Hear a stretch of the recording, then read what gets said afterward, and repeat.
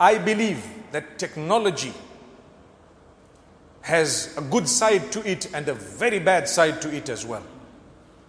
There are people earning Jannah through TikTok, and there are others earning Jahannam through the same means. Imagine when you die, what would you like there to be?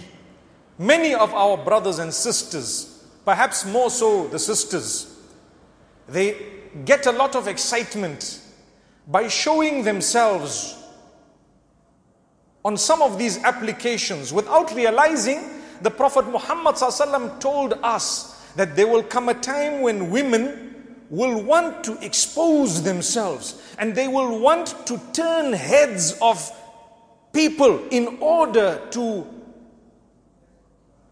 quench the the what may allah grant us goodness may allah protect us from harm the, in order to quench the attention that they are seeking so when you seek attention you do some silly things you semi remove your clothes and you keep shaking your body and you want everyone to say, Wow, great, show me more. Let's see. You are leaving a legacy. When you die, that video will remain for generations.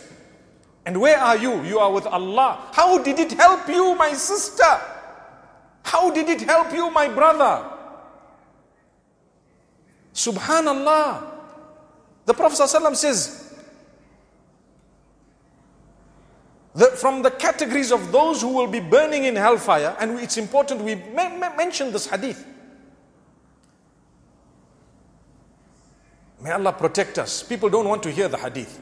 Leave it, it's okay. We don't need to hear it. Let's talk about it, right?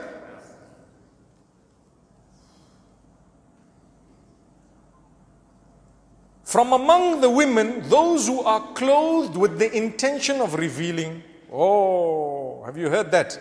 I covered myself with the intention of showing something. What are you showing? Your shape. What else are you showing? Subhanallah, the young boys are speaking. Look. What else are you showing? This is a hadith. I'm not talking of my words from my pocket. You are either wearing something too tight or too thin.